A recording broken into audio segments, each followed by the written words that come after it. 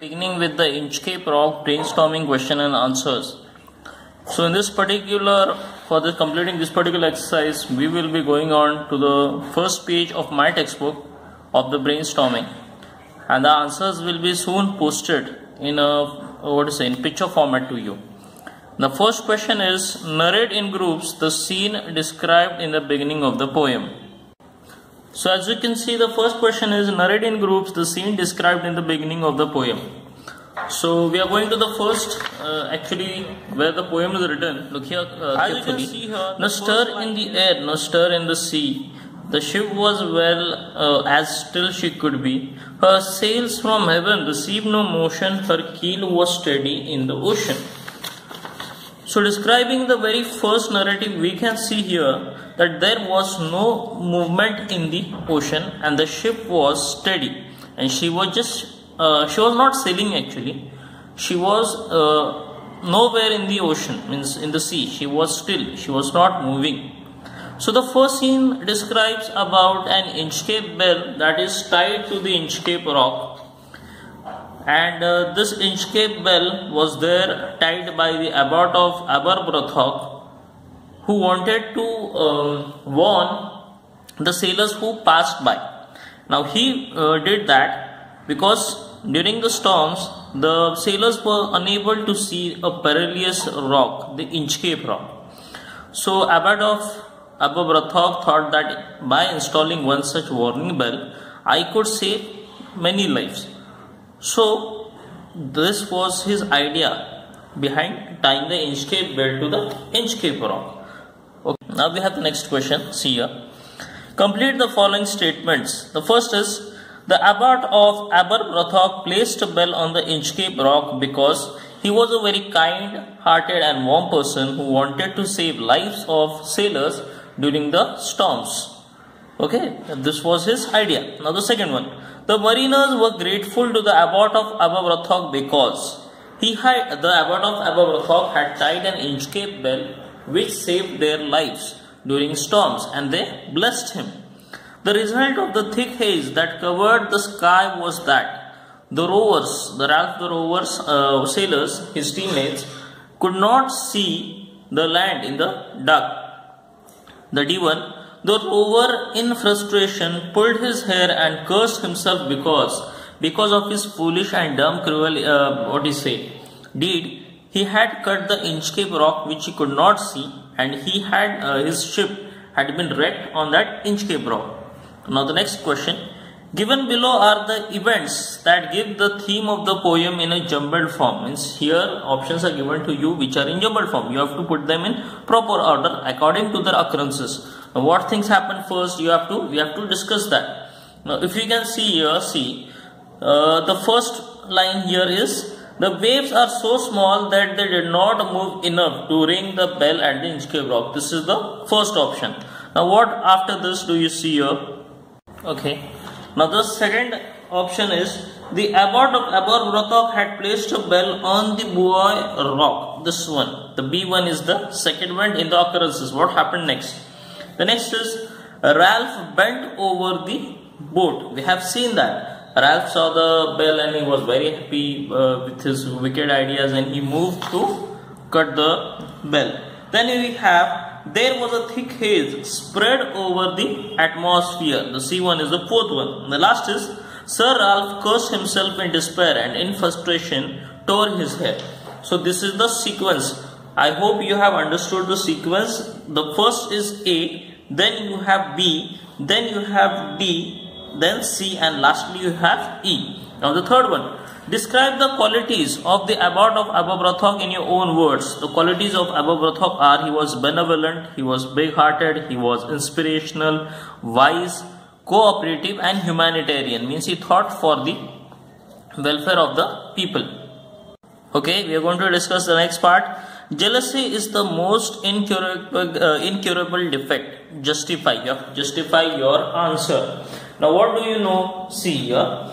Jealousy plays an important role in the poem. The rover cut the Inchcape bell as he was jealous of the abbot of Aberbrothock. When abbot of Aberbrothock tied the Inchcape bell, sailors were blessing him. This uh, this particular sailors blessed him as he was saving thousands of uh, lives.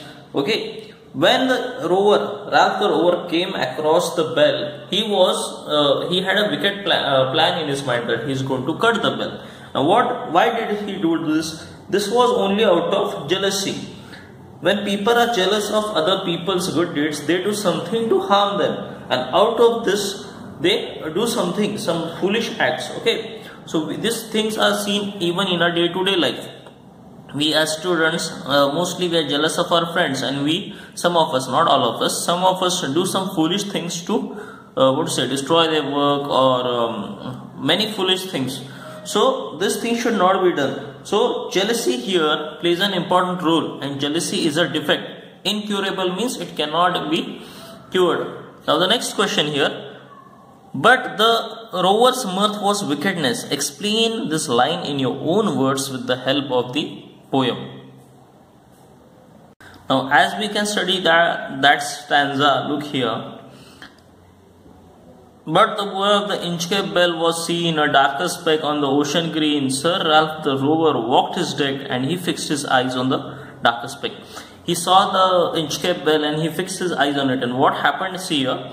He felt the cheering power of spring. It made him whistle. It made him sing. His heart was mirthful to excess but the rover's mirth was wickedness. So here we see that the rover, Ralph the rover, Sir Ralph the rover was not happy actually. He, he was happy, but there was a very um, quirky happiness in his mind and he wanted to do something dangerous. Something evil plan was cooking inside his mind. His eye was on the Inchcape float. Quoth he said, uh, My men, put out the boat and row me to the Inchcape rock, and I'll plague the abbot of Aberbrothock. So here in this particular line we see that the birth, but the rover's was of wickedness. His uh, idea or the wish he had in his mind was of wickedness. His idea was to cut the Inchcape bell which he did by the end of the next uh, quatrain. Now look here, what does this mean? See, it means that when Sir Ralph the Rover moved towards the Inchcape bell, he planned, planned to cut the Inchcape bell so he could, no one could bless the abbot of Aberbrothock. So he cut the Inchcape bell and so here no one could be saved and there will be curses for the abbot of Aberbrothock. This was the whole idea behind Sir Ralph Rover's actions. Now as we move towards Hell, uh, what what's given here? Some words in the poem are related in in different parts of a ship or a mariner's life. What are mariners? Mariners, those people who work on ships and move in oceans and seas. Given below are meanings of those terms identify the word.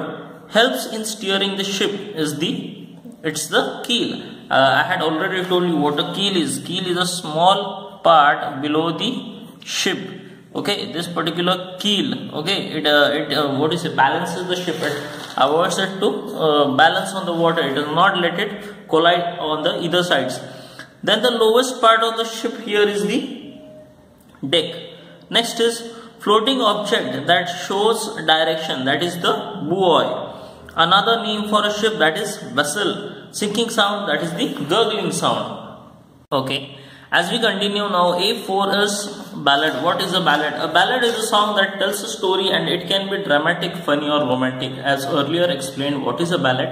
Ballad is about uh, it's a traditional type of uh, folklore verse which narrates uh, strong associations with communal dancing. So why do we write ballad here? See, I told you that ballad are songs of inspiration. The work of great deeds of a particular uh, person are passed on from one generation to another in the form of ballad. Okay. Some information is given here which all of you can read through the textbook now. We move on to the next question that is Select the appropriate figure of speech from the given box, uh, given box below and complete the table. A number of figures of speech or poetic devices are given here. You have metaphor, alliteration, repetition, personification, inversion, simile, apostrophe, and onomatopoeia. So some lines are given to you and we have to find out which uh, example is which figure of speech.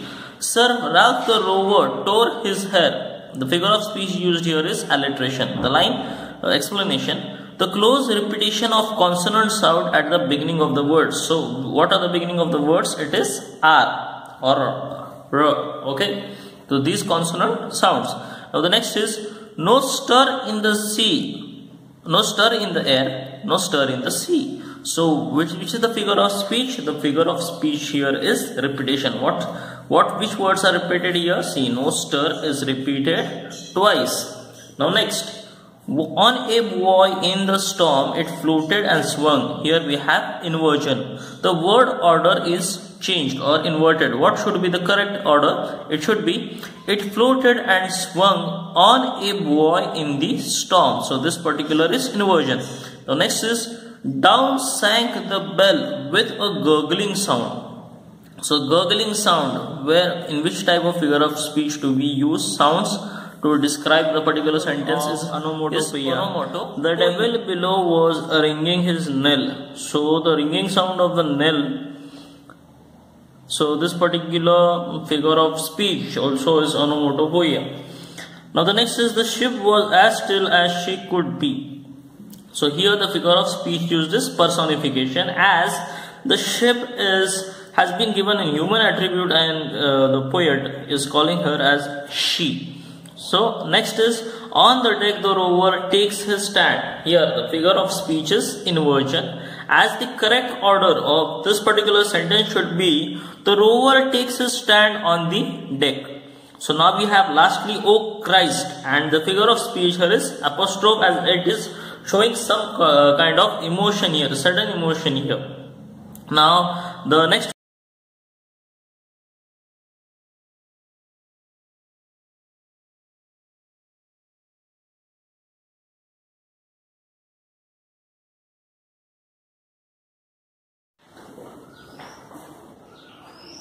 Good morning students. Students today we are going to uh, discuss about the brainstorming and the critical appreciation of the poem Inchcape Rock by Robert Southey. So very first we have seen the brainstorming question answers. Now we are going to continue with the critical appreciation. So the points to be discussed for critical appreciation are title, poem, poet, theme, style, poetic devices used, special feature and the moral message. And lastly we have the opinion. So first let's talk about the title. The title of the poem is very significant as it uh, represents a lot of things. And that lot of things are, it represents the struggle between the good versus the evil. Inchcape rock here, the Inchcape pen, uh, is the, uh, what you say, it's a symbol of goodness and kind-heartedness of the abbot of Aberbrothock. Okay, it uh, actually shows the virtues of a particular person. Now next is the poem. What do you know about the poem? The poem is in, in the narrative form. It has 17 quatrains. Quatrains means uh, four lines. A set of four lines is known as quatrain. There are 17 quatrains. Okay. The poem is in a form of the ballad. Ballad here is a poem which uh, which is written to appreciate somebody's good deeds, great deeds, or deeds which have uh, affected the humans. So the poem is about the humanitarian deeds uh, done by the abbot of Aberbrothock. It is also a, a, classic example of the struggle between the good versus and the evil. Now let's see what else. The poem is in a long narrative form. Long narrative form is there is a lot of description. Also it gives a clear and vivid pictures for the readers to understand. Now next, let's talk about the poet. The poet here is Robert Southey who is famous for his romanticism. He was, uh, uh, what do you say, he was an old school romantic poet. What else do you know about him? Robert Southey was a versatile poet. He has written many poems, he has written many ballads, he has uh, written lyrical poetry, he has written sonnets and etc. He also has written uh, prose work which includes novels, uh, what do you say, then you have dramas, uh, you have essays, you have translations, reviews, there are many things. The uh, famous part about, uh, you say, the most important part about this poet Robert Southey was that he used poetic justice or also known as the supernatural element. That means his poems have a moral message in it. Now let's talk about the theme. The theme of the poem as we have earlier discussed in the explanation of the poem is that the theme of this particular poetry is uh, the battle between the good versus the evil. The theme can be jealousy. Theme can be as you sow, so shall you reap. Means whatever your actions shall be, the consequences should be according to your actions. So this particular poem, the theme is between uh, what is said, two particular uh, virtues I say. Uh, one virtue and one vice that is one good uh, act versus the bad act. Okay. So next we have the style. Now how is the style of the poem? The poem is written in a very simple language, understandable language. Okay, let's see the next point that is the style. The style is that this particular poem is written in 17 long quatrains. Quatrains here, as earlier explained that quatrains are 4 lines. There are sets of 17 sets appear of each of 4 lines. This is poem is in a long narrative form. Now what else do you know? The poetic devices. See, each poet uses a number of poetic devices to convey his message to the readers. Here also Robert Southey has used a number of poetic devices which include personification, alliteration, repetition, onomatopoeia and inversion. The examples to give you some are that in the first quatrain we see the poet has uh, what is it described the ship as she. He has given a quality of a human to an inanimate object. Then you have alliteration. Alliteration, there are a lot of examples in the uh, this you say particular uh, book. Okay, she steers herself uh, in the course of the Scotland. Uh, Scotland shore. So here we have the consonant sound of S repeated twice.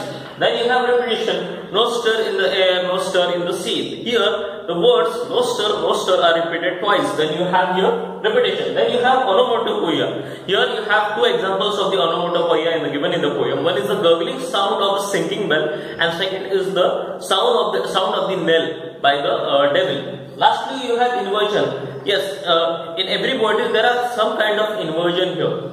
So in this particular poetry also many a times as we have shot in the brainstorming there are particular lines where there are inverted sentences. The order of the sentences has been changed. For example, see here we have on a buoy in the storm it floated and swung. Okay. So here uh, the phrase of the sentence is being changed now. Now let's see at the special feature of the poem. What is the special feature of this particular poem is that the poet has used narrative method with usage of images. Images here means devices to express this idea. Here we see that this particular poetry is between two, one virtue and one vice, that is good versus evil. Okay. So what is and also you can see the usage of supernatural element in a particular uh, as you continue in the poem we have seen that out of somewhere uh, nowhere uh, suddenly the haze comes, the mist comes and uh, what do you say uh, the supernatural, the ship is moving, there is no movement in the air, still the ship, ship is moving towards the shore. This is the supernatural element, introduction of the supernatural element. Then you have the moral message. What is the moral message of the poetry? There are two types of moral messages in the poem. The first is as you show,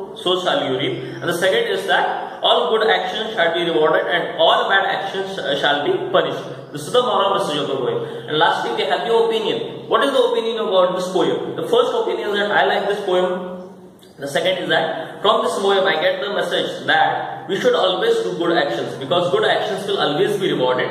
But we have to uh, what is it? Keep this in mind that if you do any bad actions, it will be punished. No matter how uh, what you say, how rich you are, how poor you are, smart, it has nothing to do with it. Your bad actions will be punished eventually. Compose some lines. Hope you like the uh, lines composed by me. The wonderful sea opened her arm her vastness and her majestic appeal works like charm. The waves go up so high, I sometimes feel they might touch the sky. All the creatures feel so happy and gay, they somehow each time move away to play. I once jumped into uh, fetch some wealth, but oh, I could not reach its depth so thank you children uh, now the here we stop for the today's lecture